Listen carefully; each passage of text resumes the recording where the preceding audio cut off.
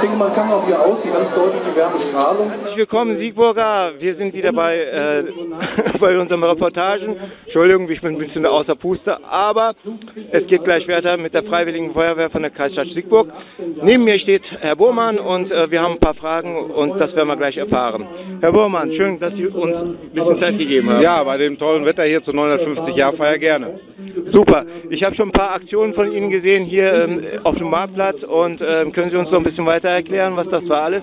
Ja, wir wollen unsere Arbeit hier dem Bürger möglichst hautnah darstellen. Hautnah heißt, dass wir also auch hier einen Flash-Over-Container betreiben, wo real Brandausbildung gezeigt wird. Hier kann man also auch Feuer sehen.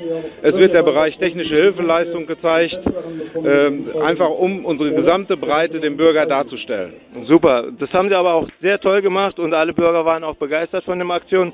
Ähm, die kleine äh, Aktion, die jetzt gleich kommt, werde ich euch auch nochmal aufnehmen und zusammenfassen.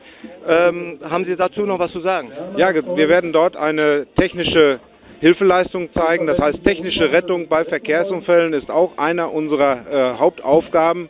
Und das geht in Zusammenarbeit mit den Rettungsdiensten. Und vor allen Dingen möchten wir es nicht schnell zeigen, sondern wir möchten zeigen, wie einfach es auch ist, wenn man also weiß, das technische Gerät, was wir vorhalten, auch so zu bedienen. Insofern werden wir auch versuchen, Passanten, Siegburger Bürger mit hineinzunehmen in die Übung und vielleicht, und ich hoffe, auch Interesse äh, wecken für weitere Mitglieder in der Freiwilligen Feuerwehr, auch weitere Mitgliederwerbung betreiben für die Jugendfeuerwehr. Das ist ganz wichtig und da nutzen wir auch diese Aktion sehr aktiv für. Super, ihr habt es mitbekommen. Ähm, eine spannende äh, Story oder ein spannender Beruf auch sogar. Ähm, wer Interesse hat, direkt hier melden und mitmachen, weil wir brauchen euch. Ohne die Feuerwehr ähm, wird das ganz schwierig. Ihr wisst auch sehr, wenn ich oder du in Schwierigkeiten bist, dann kommen die und helfen uns. Da habe ich noch was, eine E-Mail-Adresse cool@feuerwehr-siegburg.de. Einfach mailen. Wir melden uns bei Ihnen und dann freuen wir uns über neue Mitglieder in der, Ju in der Jugendfeuerwehr und in der aktiven Feuerwehr. Auch zu finden, auch zu finden im Internet natürlich auf der Homepage. Und habt ihr auch eine Facebook-Seite? Äh, die Jugendfeuerwehr hat eine.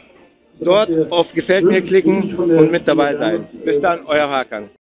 Ja, ähm, entsprechende Ergebnisse zu bekommen.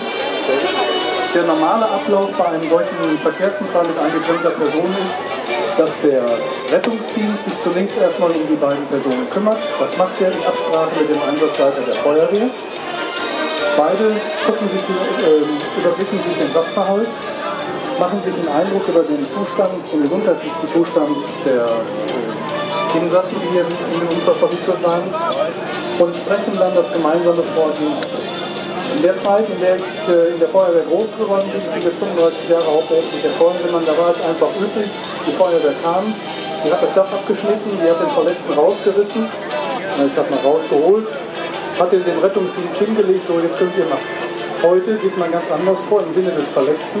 Der Rettungsdienst kümmert sich zunächst erstmal um die Verletzten, nimmt Kontakt auf, erfragt den Gesundheitszustand, spricht die Verletzten an, erklärt ihnen, was gemacht wird, damit jeder Schritt auch wirklich, wirklich deutlich ist, wer gemacht wird. Keiner soll sich überfahren äh, vorkommen, beziehungsweise keiner soll zusätzliche Angst noch durch unsere Einsatzkräfte bekommen. Während die Kollegen vom Malteser Hilfsdienst sich hier um den rettungsdienstlichen Teil kümmern, wird parallel der Bereich der technischen Hilfeleistung aufgebaut. Hier von Kameraden der Freiwilligen Feuerwehr in Duisburg.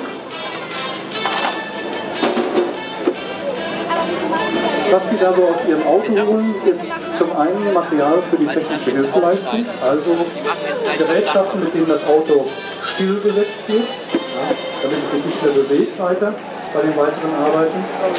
Dann ein... Äh,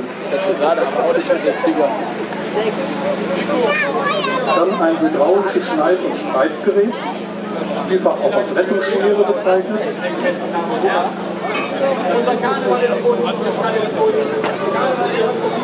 So.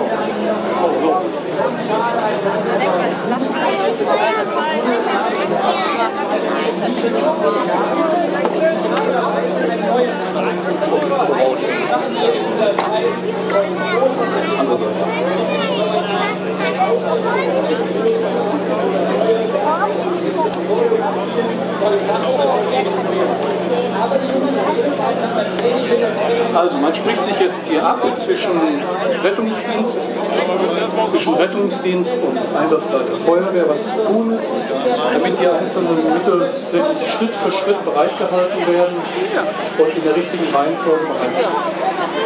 Parallel zu dem technischen Hilfeleistungseinsatz, der hier in dem Fall vorbereitet wird, nimmt man einen Löschmittel vor. Denn Sie können sich vorstellen, auch jetzt besteht noch die Gefahr, dass ein solches Fahrzeug in Brand gerät. Bei einem Verkehrsunfall, im Verkehrsunfall werden äh, mitunter elektrische Leitungen beschädigt. Es kommt zu Kurzschlüssen möglicherweise in der Batterie. Und äh, dann ist es nicht auszuschließen, dass ein Fahrzeug brennt. Eine weitere Gefahr sind äh, Systeme, die eigentlich zum Schutz der Insassen gedacht sind, also Airbags oder äh, Überholbügel, die möglicherweise bei Cabrio-Fahrzeugen eingesetzt werden. Es muss äh, sichergestellt sein, dass diese Geräte äh, außer Betrieb genommen worden sind. Hier haben wir jetzt die Gewähr, dass es äh, alles nicht mehr funktioniert. Insofern können wir diesen Bereich besser ablassen. Aber auch das ist eine Gefahr, die nicht zu unterschätzen ist. Denn äh, häufig sind in der Vergangenheit Einsatzkräfte durch auslösende noch verletzt worden, die ja sich zum Teil zum Zeitfenster von Millisekunden auslösen und äh, ja, dann Einsatzkräfte auch.